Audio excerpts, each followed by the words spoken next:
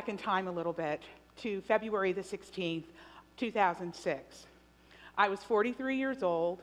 I had two children, ages 12 and 7, one of whom was in a Cinderella costume, and $120 in empty refrigerator, and two months of outstanding mortgage payments. At that particular point in time, my marriage had fallen apart, and I was on my road to divorce. Now, I'm not here to talk about my divorce. I'm not here to talk about why my marriage failed. I am here to talk about where I found myself at that particular point in time. A divorce is a sea changing experience.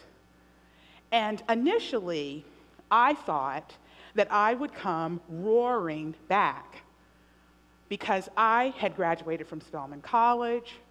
I had graduated from law school. I had attended graduate school. I had all of the necessary professional and educational credentials to really put my life back together.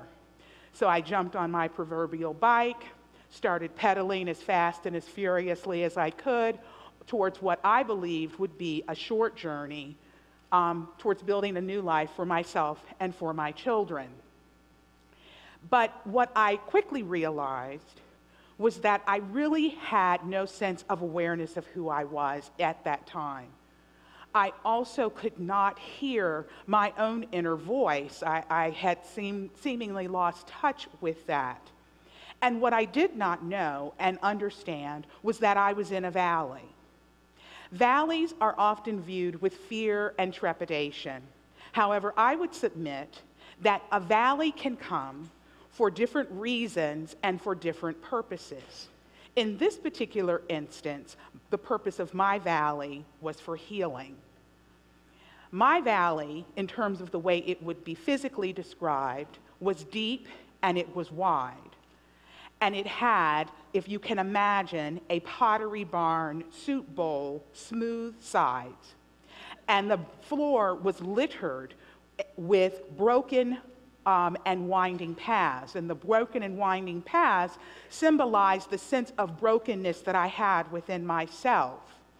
My valley had a long um, stream down the middle. Um, and what I tried to do was I tried to initially treat my valley like it was a NASCAR pit stop. Roll in, retool, gas up, keep going.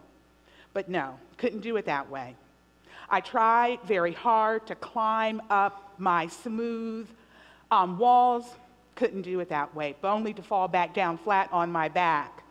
And what I realized was that the broken and winding paths that I saw contained the lessons that I needed to learn to move on to whatever it was that was destined for me. But first, I had to do the work. I had to be willing to allow myself to be pruned. I had to be willing to allow myself to have, have fear and anger and unforgiveness and anguish and bitterness removed. Because you see, I had started to wear those things. I had layers and layers and layers of all of those things that I wore like a comfortable coat. And they had to go because I couldn't keep carrying all of that. It kept me in bondage. And I also had to allow those things to be replaced with kindness and goodness and forbearance and for, with self control. I had to allow those things to happen.